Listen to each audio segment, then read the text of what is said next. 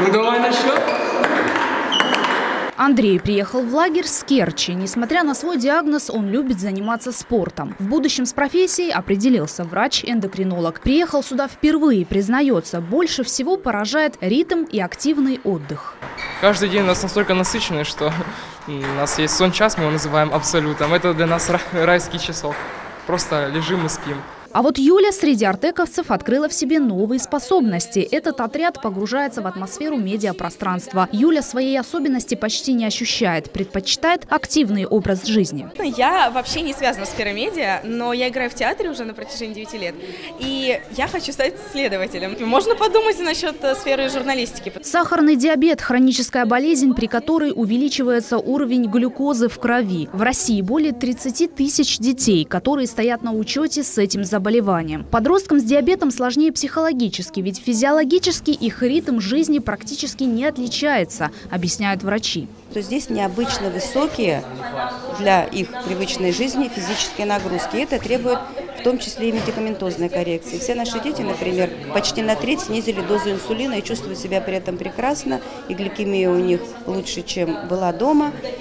И всем советуем заниматься спортом не только в Артеке, но и в своих обычных условиях. И опыт Артека это подтверждает, что э, занятия спортом, игры на свежем воздухе – это полезно всем детям, в том числе и детям с сахарным диабетом.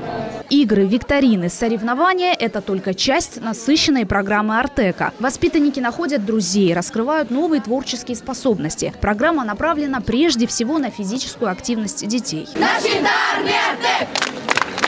Не забудем вовек! Сейчас в лагере идет системная работа по инклюзивному как обучению, так и отдыху детей. Международный центр ориентирует воспитанников на здоровый образ жизни и правильное питание.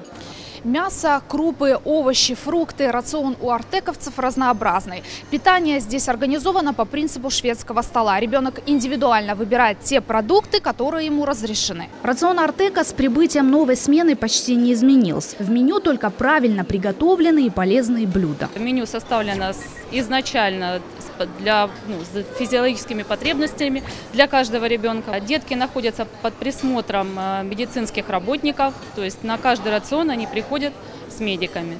Заболевание не должно мешать полноценно развиваться ребенку, уверено руководство лагеря. Решить эту проблему не так просто, ведь на кону здоровье и жизнь ребенка. Да, мы вышли на а, федеральный центр, а, детский федеральный центр, занимающийся проблемой э, диабета и в целом нашли способ взаимодействия с ним, а, который выражается в такой партнерской программе. Мы выработаем какие-то достаточно специфические а, решения, связанные с образовательными программами, с уровнем нагрузки детей, которые позволят им мало то, что сюда приехать, но абсолютно комфортно чувствовать себя внутри. Для некоторых воспитанников мечта превратилась в реальность. Пока Артек – единственный лагерь в России, который принимает подобные смены. Первый шаг навстречу к детям с сахарным диабетом уже сделан. Опыт Артека планируют применять и в других регионах России. Лилия Виджат и Рамазан Аливапов, телеканал «Миллет».